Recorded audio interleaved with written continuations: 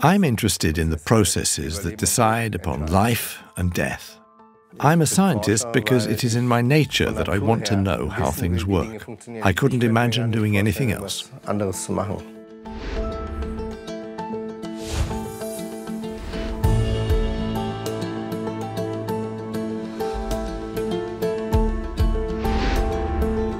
Henning Walczak is researching programmed cell death. The aim is to fight cancer. We all know someone who has suffered from cancer, and many of us know someone who died of cancer. And that's also how it was for me, and that's why I decided I'd like to make a contribution to fighting this disease. Cancer medicine is undergoing a revolution, triggered by the success of cancer immunotherapy, for which the Nobel Prize in Medicine has been awarded in 2018. Together with his team, which includes his wife Eva, Walczak explores how cell death can be used to get the immune system to do its job.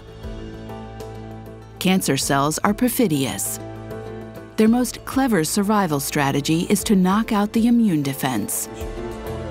Walczak and his team want to prevent this. Well, that's pretty good. Yes. Complex. Exciting. Very good.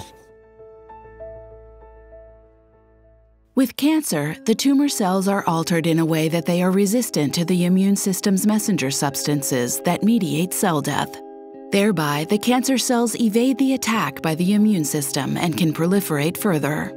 Often, they now even produce the messenger substances for cell death themselves, which further inhibits the immune system. The result the tumor grows and the immune system doesn't recognize it. Henning Walczak's research is focused on exactly these messenger substances. By influencing these messengers, his aim is to prevent the death of those cells that fight the tumor cells, and at the same time render the tumor cells vulnerable to this attack. If this succeeds, the immune cells are able to recognize and attack the tumor cells again. In a moment, all the cells will be red and therefore dead. And only a dead cancer cell is a good cancer cell ist eine gute Krebszelle. In the past 10 years, Walczak has been researching in London. The British capital has become a home for him and his family. Brexit was a turning point for us. I am European and I want my children to grow up as Europeans. Äh, Spending time with his wife and his three children, a source of energy and necessary balance for Henning Walczak. When we're at home, it's all about the family. And when we're with the family, then work plays a subordinate role. And that's a good thing, because then we can really clear our heads and think about other things. We can laugh and play with the children, which is a great joy. The new home of the family is also the parents' old home. Henning Walczak will take up the Humboldt Professorship in Cologne.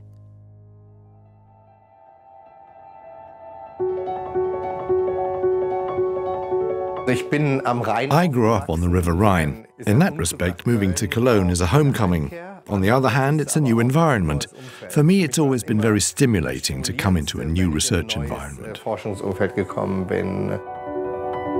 In Cologne, he will find many sparring partners for his approach. The city ranks among the European elite for cancer research and has a strong focus on cell death research.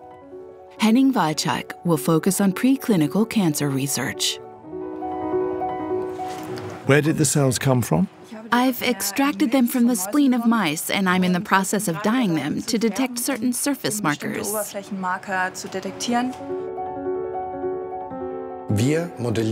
In our animal experiments, we model the exact diseases that patients have. And that's how we can test our new therapy approaches. And that's why this exchange, this direct exchange, is so important.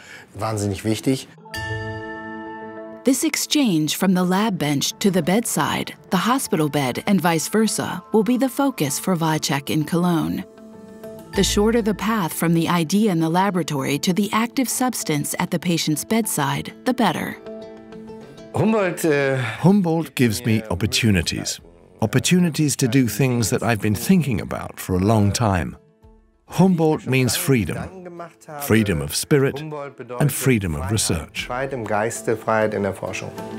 And he wants to make use of it. Perhaps to eventually take a decisive step in the fight against the great scourge which cancer still is to this day.